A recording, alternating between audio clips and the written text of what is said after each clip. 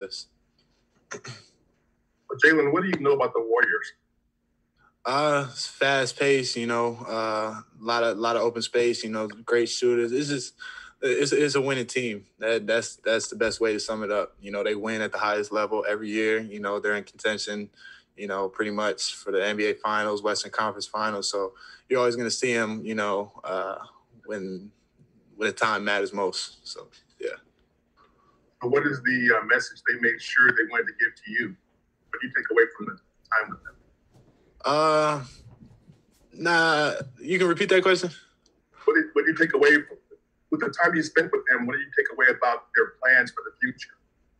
Uh, they don't really speak too much about that. Uh, to me personally, but you know, just uh, I know it's hard work. You can just tell by how the workout went today. You know, it's a lot of hard work. Um, just high pace. You know, a lot of shooting. It, it, it's, it's great work. Hey, Jalen, it's uh, Colin Ward Henninger with CBS Sports. You mentioned all the big guards who you kind of look up to. Is that the role you envision for yourself at the NBA level?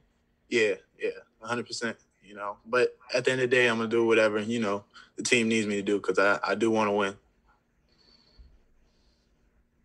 I'm curious, coming up, being so big, how were you able to continue to play point guard? You didn't have any coaches that wanted to put you down low?